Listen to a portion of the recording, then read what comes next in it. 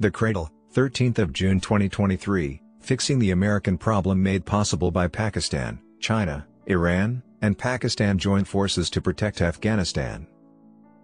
Pakistan engaged in double dealing and contributed to the United States' defeat in the conflict with the Afghan Taliban. Beijing, Tehran, and Islamabad know that Pakistan-created terrorism in nearby Afghanistan must be resolved to achieve their shared aim of peaceful development and extended Asian trade routes. China, Pakistan, and Iran had their first ever trilateral security dialogue last week in Beijing. The meeting was held in light of recent border clashes between Afghanistan and Iran and the Taliban government's resistance to taking action against militant organizations operating within its borders. Geopolitical analysts predict that the talks will create a new regional security and trade paradigm involving China, Iran, Pakistan, and Afghanistan, despite Pakistani officials' insistence that the dialogue is meant to address local security issues rather than serve as an Afghan affairs watchdog to fill the gap left by the U.S. troop withdrawal in 2021. Terrorist threats are coming from Pakistan, Afghanistan, and Iran on a trilateral basis. The three countries all support terrorism, According to a source in Pakistan's Foreign Office, China, Pakistan, and Iran are among the nations that are deeply concerned about the recent spike in terrorist strikes in Afghanistan. The Tehrik-e-Taliban Pakistan, TTP, East Turkestan Islamic Movement, ETIM, Jaish al-Adl organization, and the Islamic State Khorasan are primarily responsible for the commission of terrorist acts in the region. According to the source, the three countries have stepped up their diplomatic contact with the Taliban leadership to address security concerns and advance stability in Afghanistan. While security may be front of mind, Andrew Korybko, a geopolitical expert stationed in Moscow, has a different perspective. Passing the commercial route between China and Iran through Kashmir, under Pakistani control, may worry India's arch-rival. Beijing can reach this long-term result in trilateral negotiations with Iran and Pakistan. There is no better time than now. Several synergies between Islamabad and Tehran have recently been found, increasing trade between the two countries. The deterioration of their relations with the Taliban coincides with the development of Iran-Pakistani relations. Conflicts along the Afghan-Iranian border have intensified over a long-running water issue, and Pakistan has threatened military action against Kabul over its sheltering of TTP militants.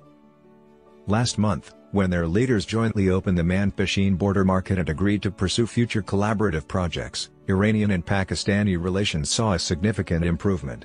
This change resulted from the Chinese-mediated Iranian-Saudi reconciliation in mid-March, which Korybko argues settled Pakistan's security problem and provided it room to pursue more balanced relations with Iran. Conversely, China has maintained cordial and business-oriented ties with the Taliban, making it perhaps the most suitable middleman to mediate trade and security issues. Beijing's first aim will be to stop any unexpected cross-border militancy from endangering the reconciliation between Iran and Pakistan, as both countries are essential to China's Belt and Road Initiative, BRI. China has promised to invest $400 billion in Iran over the next 25 years as part of its Strategic Cooperation Agreement for 2021. Pakistan is home to the BRI's flagship project, the China-Pakistan Economic Corridor, CPEC. The first ever trilateral anti-terrorist talks involving China, Iran, and Pakistan took place last week in this intricate security setting.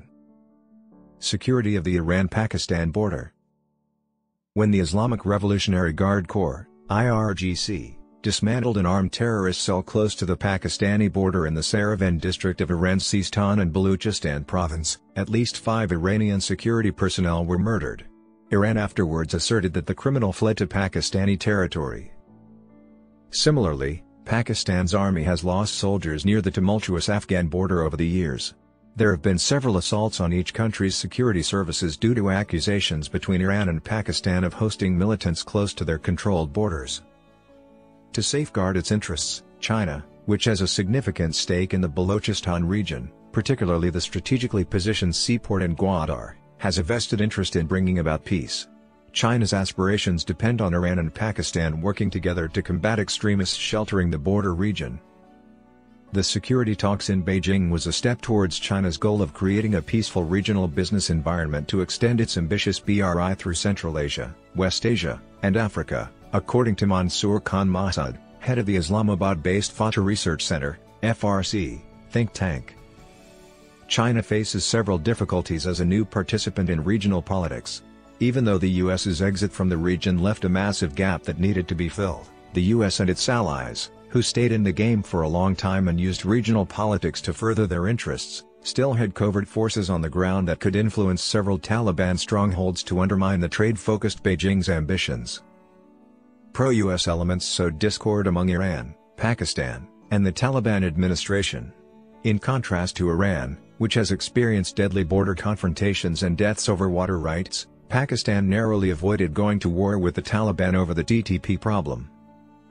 Massoud raises more concerns about the rapid U.S. exit from Afghanistan, which he views as questionable. He argues that the Pentagon's abrupt recognition of the cost to the U.S. economy following decades of involvement casts doubt on the reasons for the hurried withdrawal. Despite having a weak industrial basis and little to no international help, he argues, Afghanistan's economy is still functioning well compared to its more industrialized neighbor, Pakistan, adding that this indicates Afghanistan is receiving enormous sums of money from someplace. Who is funding the Taliban, and for what purpose specifically? A four-sided security mechanism.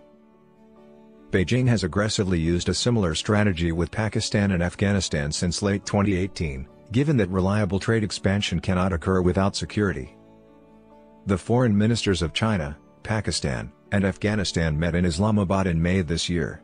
They agreed to collaborate to put Xi Jinping's global development, global security, and global civilization initiatives into practice. At the conference, the three top diplomats emphasized the significance of ongoing projects like CASA 1000, TAPI, and Trans-Afghan Railways, underlining their potential to enhance regional connectivity and promote economic growth and prosperity. Iran, Russia, China, and Pakistan's foreign ministers met in Samarkand, Uzbekistan, in April to discuss issues and worries about Afghanistan. In a joint statement issued after the trilateral discussion, Pakistan, China, and Afghanistan reaffirmed their commitment. It expressed its determination to use Afghanistan's potential as a hub for regional connectivity to advance trilateral cooperation under the BRI and jointly expand the CPEC to Afghanistan. China seems to be one of the region's most promising agents for fostering regional stability and growth, according to a 2016 Asia Foundation assessment on security cooperation in the Heart of Asia region. Due to its constructive participation in the Shanghai Cooperation Organization SCO, and the trilateral agreement between Afghanistan, Pakistan, and China, it is also a strong backer of regional players, particularly Afghanistan. Iran is expected to join the SCO as an official member when the upcoming summit meets. Furthermore, despite claims from some Western media outlets that China's primary goals are limited to economic concerns, its role in the world has been continuously growing. Beijing has taken on a new role in the region due to its active involvement in numerous trilateral or quadrilateral stability and security conferences focused on Afghanistan. According to the paper, China's participation in the Heart of Asia process might increase and broaden its influence within these frameworks. The report also notes that, despite significant differences between the participating countries, the trilateral framework in general, and the Afghanistan, Iran, and Pakistan trilateral systems in particular, have frequently been seen as potential solutions to the most urgent problems in the region. Since 2009, trilateral engagements involving Afghanistan, Pakistan, and Iran have sought to strengthen cooperation across political, security, socio-economic, and cultural areas, concurrent with negotiations within the Economic Cooperation Organization ECO. However, the predominance of bilateral interactions among the member countries slightly undermines this organization's trilateral nature. The report concludes that the government primarily communicates directly with Pakistan and Iran rather than making entirely beneficially use platforms. China's strong participation within the trilateral framework indicates its commitment to regional peace and security as it continues to rise globally and establish itself as a vital mediator in geopolitical crises. As a result, there is a chance that an atmosphere of peace, advancement, and prosperity can be fostered throughout Asia.